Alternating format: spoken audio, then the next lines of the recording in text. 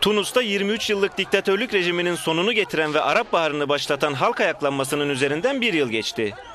Olaylarda 300 kişi hayatını kaybetti, 700'ün üzerinde gösterici de yaralandı. Euronews muhabiri Ennahda Partisi'nin zaferiyle sonuçlanan ilk demokratik seçimleri de gerçekleştiren Tunus halkıyla geleceğe dair umutları ve beklentileri üzerine konuştu. Benim için bir değişiklik olmadı. Bunun için çok zaman gerekiyor. Politikacılar, özellikle Ennahda Partisi'nden bahsediyorum, henüz hiçbir şey yapmadılar. Zamana ihtiyaçları olduğunu biliyorum ama değişim sürecini hızlandırmaları gerekiyor. Devrimden bir yıl sonra Tunus'ta hiçbir şey değişmedi. Önceden en azından güvenlik sorunu yoktu. İstediğimiz her an korkmadan evimizden çıkabiliyorduk. İşsizlik oranı çok yükseldi. Bugün en az 800 bin işsiz var. Tunus'ta hiçbir şey değişmedi.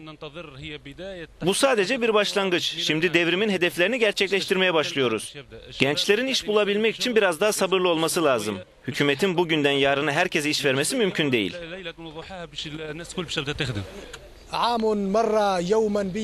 Bir yıl önce tam bugün genç bir Tunuslu burada ağır bir şekilde yaralanmıştı. Arap Baharı'nın ilk devriminin üzerinden bir yıl geçmesine rağmen birçok Tunuslu'ya göre henüz hiçbir şey değişmedi. Ne işsizlik düştü, ne güvenlik şartları düzeldi. Hiçbir rüya gerçekleşmedi. Aksine herkeste bir hayal kırıklığı göze çarpıyor. Onlar için artık devrimin hedeflerinin gerçekleşeceğine inanmak hayalperestlikten başka bir şey değil. Tunis